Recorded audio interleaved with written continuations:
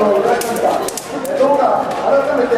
2018年の日本酒歴史があるということを、頭の中にお土産としてお持ちをいただきたいと思います。えー、ね、名残は惜しいんですけれども、えー、本当はですね、昔から花を伝のからこの祭りが始まってたんですよ。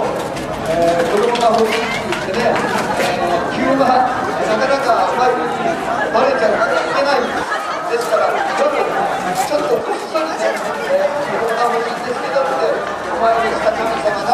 花丸様だったんですよですからお祭りをずっと始めるにあたりましては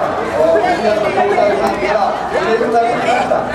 このお祭りは夜ね暗くなってからやるお祭りなのになんで昼間にやるんだって言われましたですけれどもこんなに昼間に燃え上がるお祭りになるとは思いませんでした、ええ、ですけれどもこのお祭りは古い古いロングロングアコーもっと古い、えー、長い長い歴史があるんです、えー、そうです。いやいや2600